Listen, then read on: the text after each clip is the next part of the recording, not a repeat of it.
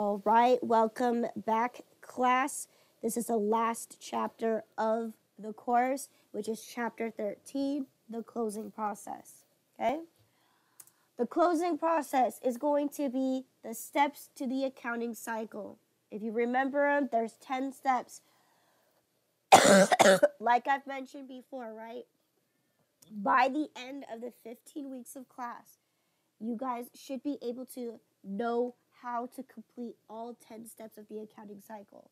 So that is exactly what we're going to be doing next week is we're going to finish off the accounting cycle, okay? Starting off with the last 5 steps, okay? The general ledger we've been doing, right? We've been mm-hmm. posting to our journal, we posted to our ledger. We are familiar with that. So we're going to be talking about steps 5 through 10. Excuse me and this is going to rep- represent the closing process. So step five, okay? So we have been seeing what it, how to create a trial balance, right? Where right. we take our accounts, they all come from um, our uh, ledger, right? And it's going to help us figure out if we did our accounting correctly or not, right? By, um, you know, testing um, the total debits equaling our total credits. Now we call this the unadjusted trial balance because this usually typically happens at the end of the accounting period, but before your adjustments are being made. Okay? So this is the before the adjustments are made, but it's usually at the end of the accounting period. Okay? Whether you do it at the end of the day, at the end of the month, at the end of the week, whatever it is, right? In this case, this example says for June 30th, okay? So here is you we're testing to see if our total debits equal our total credits, right? So we've seen this before, but this time, usually, like I mentioned before, right? The unadjusted trial balance usually happens at the end of the accounting period when you've wrapped up your entire um, uh, transactions for that month. Okay. Then step six and or sorry, sorry, step six and seven, yes. Right? Step six is you're going to be completing your adjustment entries. Okay, so things that you need to wrap up at the end of any given accounting period. So, number one thing that we taught you was periodic inventory, right? It's an adjustment at the end of the accounting period, right? Uh, depreciation. You need to adjust the usage of your fixed assets at the end of the given accounting period. We also have to do supplies expense, right? Cost of materials, and including bad debt if you come across it. Okay? So those these are all examples of uh, adjustment entries that you can see, right? And then of course you're also going to uh, journalize it, okay? Because we're moving, we're, we're creating our adjustments, right? We're moving uh, our assets into um, our expenses, right? Because we're using them. Okay, so once we create our adjustments, right, we journalize it, post it to the ledger, and then we create our adjusted trial balance. Okay, this is just to ensure when we did our adjustments, right? That we properly recorded our adjustments without any mistakes, right? And that we debited and credited the proper uh, adjustment accounts. Okay? So that's what the adjusted trial balance does. Now, this is very key and very important to have done because this is ultimately what you are going to be using to create your financial statements. If you don't have your adjusted trial balance, you won't be able to complete anything else, right? All right. These are the numbers that you're going to be piecing together your your um, financial statements with. Okay? So starting with the first one, you're going to be needing to create your financial statements. So, number 1, right? They have to go in a particular order. You need to complete your income statement first. Okay? This is going to tell you whether your company made a profit or made a loss. Okay? Now this is this is not meaning that your company is um, in debt or anything like that, but it does determine whether you spent enough money or did you generate enough money to cover all of your expenses. That's all that it's really letting you know, right? All right. So in this case, we're going to take all of our revenues, right, especially our operating revenues, right, and we're going to calculate that against our cost of goods sold, right? Because my cost of goods sold is directly correlated to my sales. I want to know how much money did I earn after taking out the direct cost to my sale, which is the cost of goods sold. Okay? Because remember, if I sold a product, I need to know how much it costs me and then figure out what my gross profit is from there. Okay? Then I'm going to take my gross profit and I'm going to counter them against all of my operating expenses. Okay? So, of course, I need to pay my rent. Of course, I need to pay anything other. You're going to also um, write off of your other expenses, such as advertising or depreciation. Okay? Those are all included. Once you determine that, right? Then, if you have any other income or any other expenses, those are usually added or taken out. Then you're going to go ahead and finish off with the last one, which is going to be figuring out if you have a positive or a negative number. If you have a positive number, that means you earned a profit, you got net income. If you have a loss, right, or if you have a, I'm sorry, if you have a negative number, that means you unfortunately took a loss. Okay? As in, you did not, you spent more money than you earned. Okay? Now, this doesn't mean the company's losing money. It just, you just spent too much money. That's it. Right? Because in, Right. in this case, right, how the company doesn't lose the money, right? Because you, you, you just spent too much money in this case, right? You didn't earn enough money to cover your operations. So in this case, that's all that it's determining for you. Did you make a profit? Are you profitable? Are you generating and having enough sales to cover all of your expenses? That's exactly what this income statement does. It helps you answer that question. In most cases, a lot of businesses, when you start off, you always are going to end up spending more money than earning it in the very beginning of its life. Because again, we need to acquire all of these assets, right? We need to mm. acquire all of these inventory. You don't know many people. You're trying to build your brand. People don't know who you are. They need to buy your product, try it, and then so then they can make a formal decision on whether your company is worth it or not, right? Mm-hmm. So it takes time to generate a profit. Okay? All right. So once you completed your income statement, the next one is going to be the statement of owner's equity. Okay? If you have two choices with your net income, okay, you can choose to either reinvest it into your company or you could choose to pocket that profit. Okay? Mm-hmm. Now, if you reinvest it into your company, that's exactly what we did here, where we go went ahead and added it back into the company. Okay? Rule of thumb.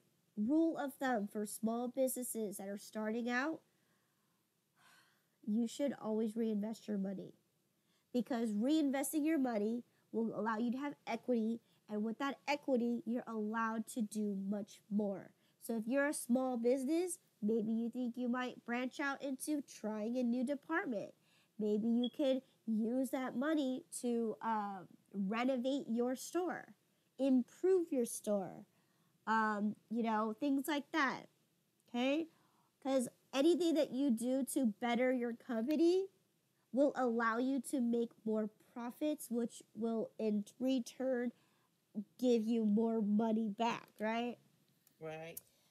Um, and plus, especially when you owe so much money as well, you definitely don't want to pocket that money right away because you have a responsibility to pay off the liabilities that you owe. So that's also one thing that you should do too is reinvest that net income into your um, company. Now, if you incurred a net loss, Unfortunately, that has to come out of your company, right? You don't pay Right. for it. The owner does not pay for it. The company does. Okay, so if you took a loss, if you spent too much more, it's too much money than what you earn, you need to take it out from the company. The company's going to pay for the loss, Mhm. not you. Okay? All right? And then, of course, we mentioned other things that affect your equity is going to be capital contributions, which means adding more money to your business. So, whether it's through investments, okay? And then um, owner's withdrawal, which is, you know, pretty straightforward, right? You're taking money away from the company, you're withdrawing from the company. So, again, that will um, subtract against you. Then, once you've done that, you're going to determine, right, the new net worth of your company. Okay? So you're always going to start off with the beginning balance of your equity, right? What you what you originally invested your company with. Okay? And then you're going to uh, either add or subtract your net income if you choose to reinvest into your company. Okay? But if you have a loss, you have to take it out from your company. Okay? And then whether you added more money or take away money, right? Then you're going to determine what your equity is. Okay? Your new equity. So in this case, this example here, right? I started out with $2,000. I added two I added my profit of 309 um 17. I didn't take any uh withdrawals, so now my ending balance of equity as of June 30th is going to be $2,309.17. Okay? Once you figured out what your uh your equity is, right? This is where we plug it into our balance sheet, right? Because our balance sheet tests the accounting equation. Your assets equals your liabilities plus your equity. Well, guess what? You solved for your equity from the previous worksheet. So that number is going to be given to you. Your equity is going to be $2,309.17. Okay? So what you do here for your balance sheet is you're going to literally list out all of your assets, total them up, and then you're going to list out all your liabilities, total those up, add it to your equity, and see if they balance each other out. now, if you've been doing your trial balance correctly, you should have no problem with um, with uh, balancing out the balance sheet. But the purpose of the balance sheet is to see where the business is standing, right? Looking at all the assets that you own, looking all the people that you owe, and looking at your net worth of your company. That is exactly what the balance sheet does. Is it's literally telling you what you are currently having in your business as of right now.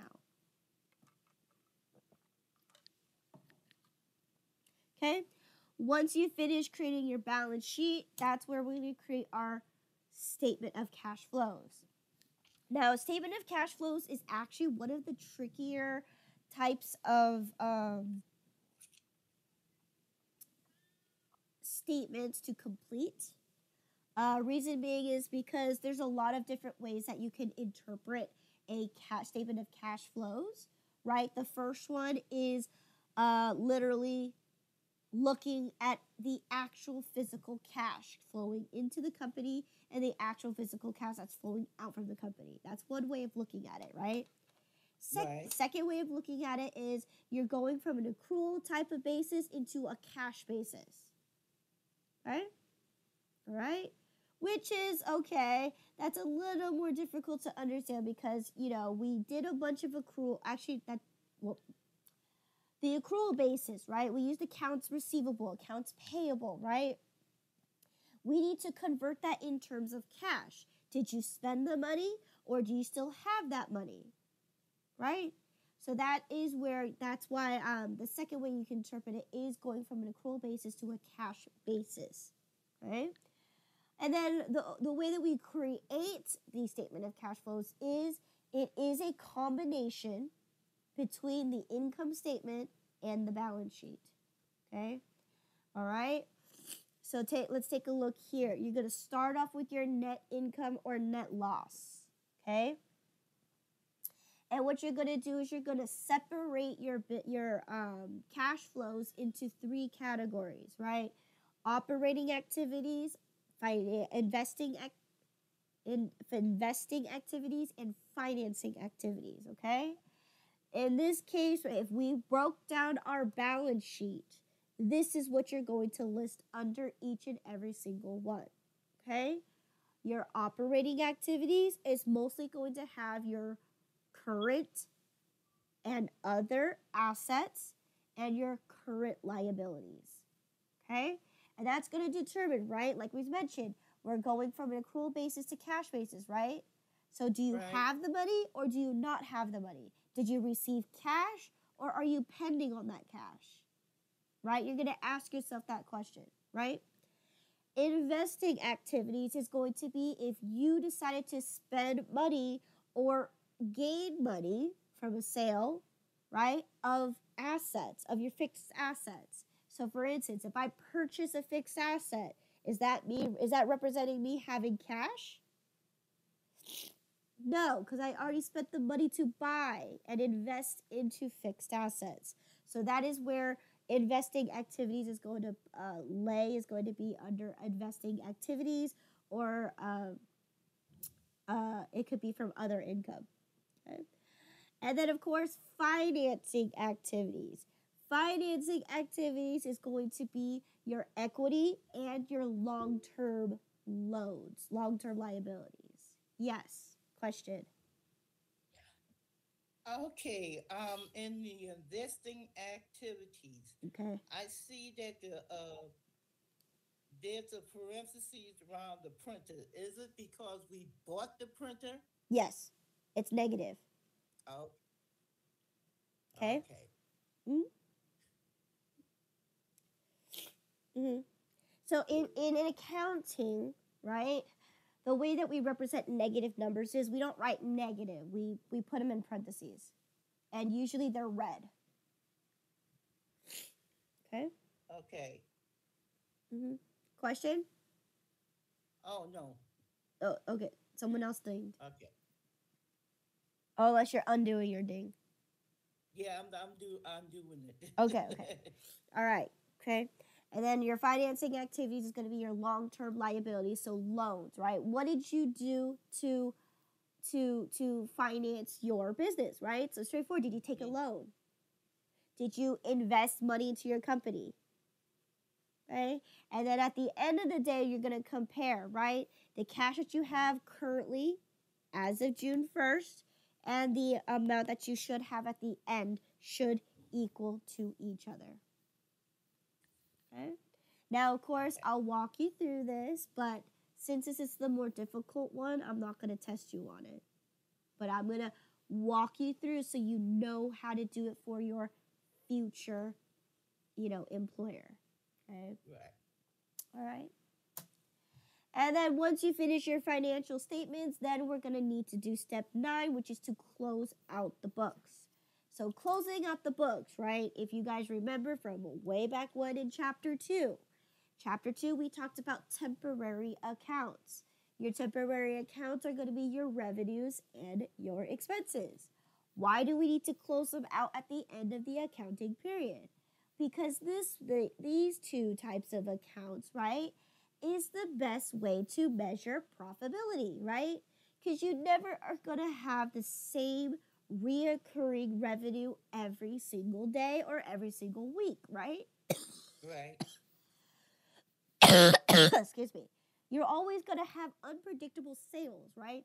Yes, you may have a regular customer come in and order the same thing from you, but you can never predict what they want because one day they can show up to you. You say, Hey, you want your regular? They say, No, I want to try something else.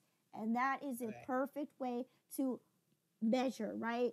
Oh, this person is going to change their mind and buy something else. So that is what that is the the purpose of having uh, revenues as a way to close out to measure profitabilities because you aren't able to predict the type of revenue, right?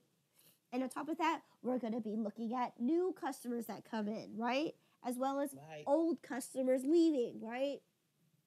So that way you won't be able to, yes, you can make projections and predictions for the future, but what I'm trying to say is this is the perfect way to measure your profitability because in this case, right, you have unpredictable flow of income. Right? And how do we close out that? So if we normally credit our revenues, right, to zero them out, if you remember from chapter two as well, when we talk about um, when we talk about having an account balance, right? When we balance our accounts, we're pretending we're on a number scale, right? If you go Mhm. left, right? If you go left five, that means you're you're on the debit left, right? But you need to get to the credit Mhm. side, right? That means you need to go right a couple, right? You have to go more than five to get to the credit side, right? So Right. it's exactly like a number line where you have zero in the middle. Okay? You have left as your debit and you have right as your credit.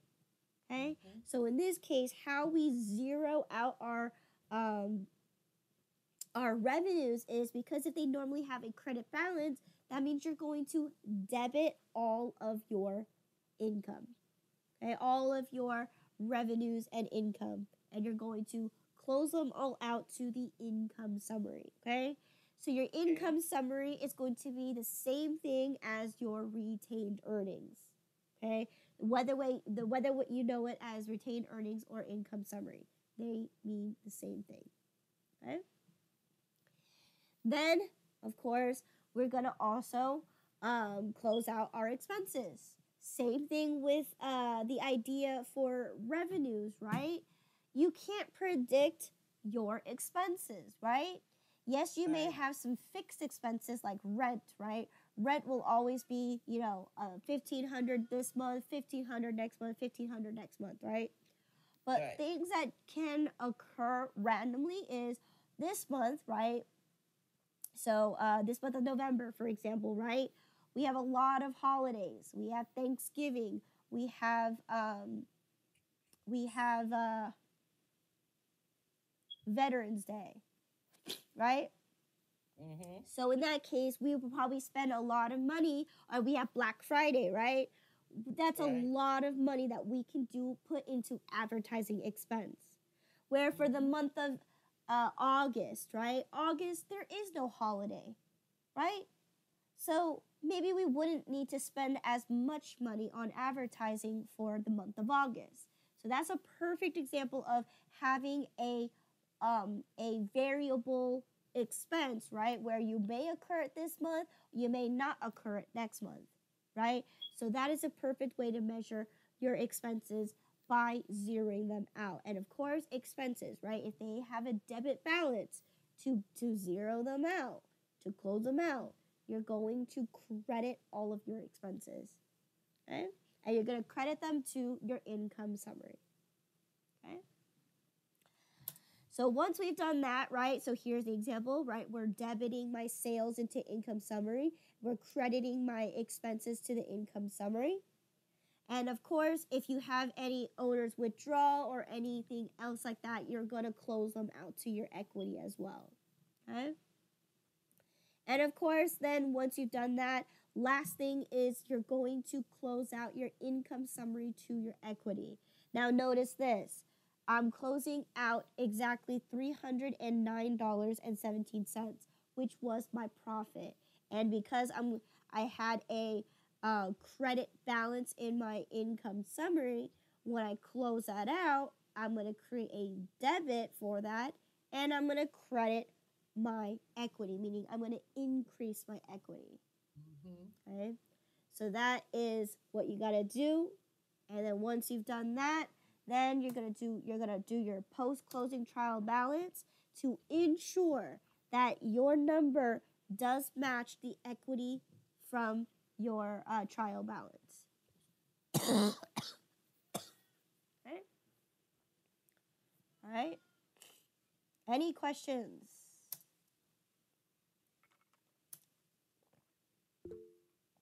Yes. Can you go back a couple frames, like two frames? Is this good, or did you want another one? Oh, yeah, that's perfect. And then the, the last one? Or the second to last, yeah. That's it. The- yeah, yeah. This it's just the review. Oh, the one before that.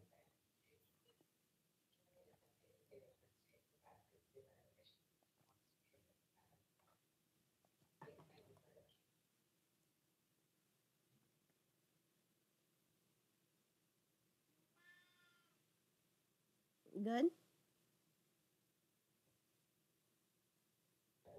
Uh, the other one. Which one? Back or forward? Uh, forward. So there's this one And then the last one. and this one. Yeah, that one right there, step ten. Okay, perfect.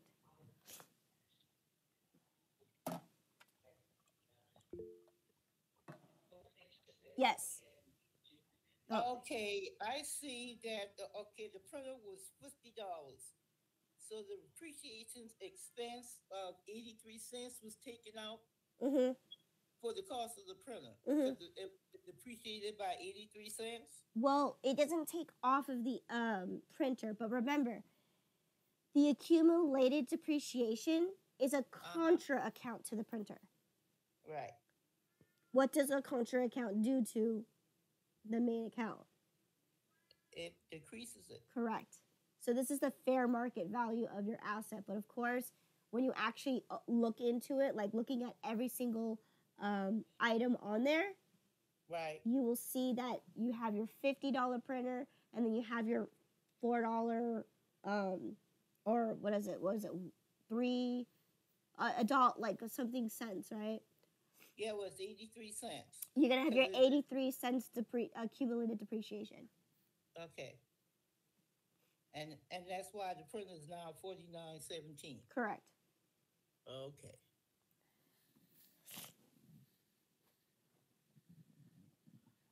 All right. Okay. So let's go ahead and do a quick review. So again, the last five steps of the accounting cycle, right? Um, this is so a review for the trial balance, right? You need to list out all of your accounts from your ledger, and you're going to test the the test the um, if your total debits equal your total credits. For equity, right, you're going to close out or debit all of your revenues. Then you're going to credit all of your expenses. Then you're going to close out income summary to your equity. Okay? And then here are the four financial statements on how to complete them. Here's a reminder of what adjustment entries are. And that is it.